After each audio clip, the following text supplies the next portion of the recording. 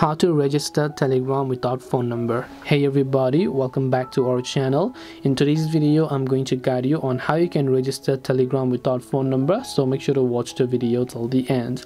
In order to register your telegram account without phone number it's actually quite very simple. Now here if you open up telegram right off the bat the very first thing it asks me to do is to simply enter my phone number which means that in this case there's no way i can use telegram without a phone number. But if you don't have a real phone number for some reason you can always use a virtual phone number and there are plenty of sites out there in google and services that does offer you the service for virtual phone numbers.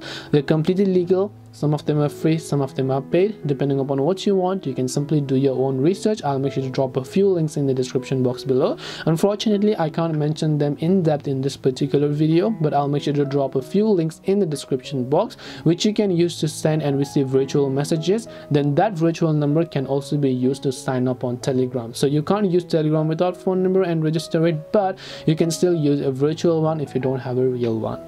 Hope this video helped you. If you have got any questions feel free to leave leave them down below. Thank you for watching till the end and see you soon in the next video